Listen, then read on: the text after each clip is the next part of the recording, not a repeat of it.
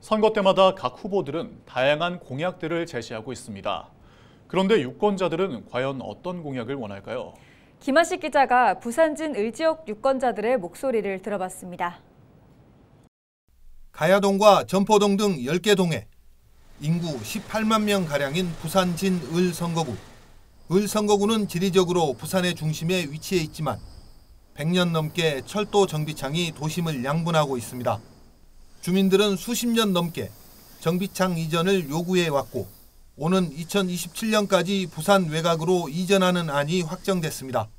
이렇게 되면 24만 제곱미터 규모의 넓은 부지가 생기게 됩니다. 공작창 이전한다는 것은 들었는데요.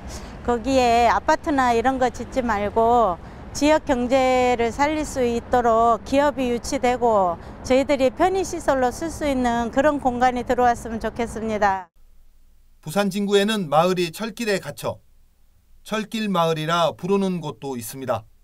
최근 지하화가 언급되면서 철길 문제도 지역민들의 관심사입니다. 철길을 철거하고 나서요 될 수 있으면 빨리 우리 아이들이 쉴 수 있는 공간과 어른들 또 모든 주민들이 쉴 수 있는 쉼터가 좀 필요하다고 생각합니다. 일부 지역은 주택이 밀집해 있고 도로가 좁습니다.